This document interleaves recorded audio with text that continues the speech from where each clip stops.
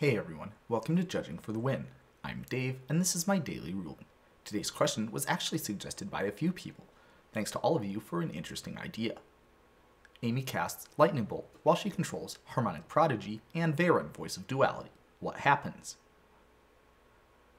Alright, so the obvious answer is a whole lot of triggering, but let's see exactly how much. First of all, both of these triggered abilities, the prowess from Harmonic Prodigy and the pseudo prowess from Veyran, will trigger, of course, when you cast Lightning Bolt. Now, the next thing that we're going to do is we're going to see some triggered ability amplifying happening. Both of these cards have abilities that make triggered abilities trigger additional times. Let's start with Harmonic Prodigies first. It won't affect itself, as it says on the card, however, it will cause the pseudo prowess from Veyran to trigger an additional time.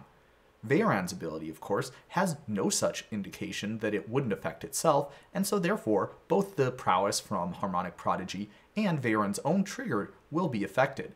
So, that means that we'll get three triggers out of Veyran and two triggers out of Harmonic Prodigy out of this one spellcast.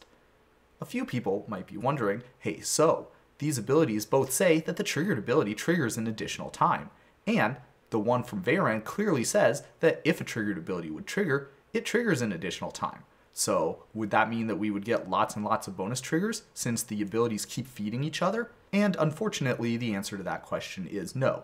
If we look in the CR and see exactly how these types of abilities function, we can see that they will not invoke each other repeatedly, and they do not count as an ability being caused to trigger for the purposes of seeing whether these types of abilities will apply. Obviously, Wizards thought ahead on this one, and they didn't want the game to be a draw because of an infinite amount of triggered abilities trying to be put onto the stack. A little sad that it didn't work out in the coolest way possible, but hey, we are getting 5 triggers out of one spellcast, so I'd say that works out pretty good too. And that's all I have for you today. How did you do? Join me again tomorrow for another daily ruling, but until then, I hope you have a great day.